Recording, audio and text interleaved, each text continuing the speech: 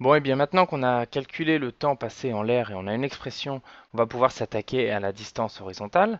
Alors pourquoi on a calculé le temps en l'air finalement? Bien parce que l'objet va avancer horizontalement autant de temps qu'il sera en l'air. Finalement, si on regarde le mouvement horizontal, lui, il est soumis à aucune accélération ni décélération. Donc l'objet va avancer horizontalement. On ne s'intéresse pas à quelle altitude il est. Il va avancer horizontalement à une vitesse Et donc euh, cette vitesse constante, c'est la vitesse euh, initiale, mais sa composante horizontale. Donc on a décomposé ici cos θ fois VI.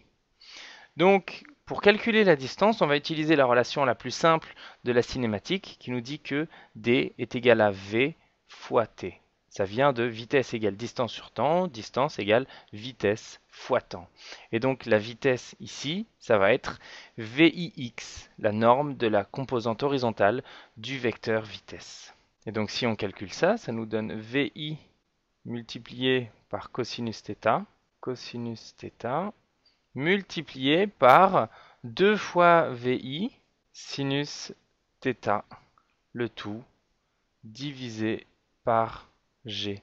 Et si je réorganise cette expression, eh bien on obtient pour D de θ qui est égal à 2 fois VI au carré divisé par G multiplié par cosinus θ sinus θ.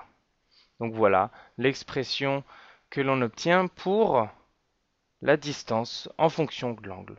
Donc là, quel que soit, grâce à cette formule, quelle que soit la planète, si je te donne la vitesse initiale et l'accélération de la pesanteur de cette planète, tu peux me donner la distance euh, parcourue par un objet que tu lances avec un certain angle par rapport à l'horizontale, tu peux me donner la distance parcourue en fonction de cet angle.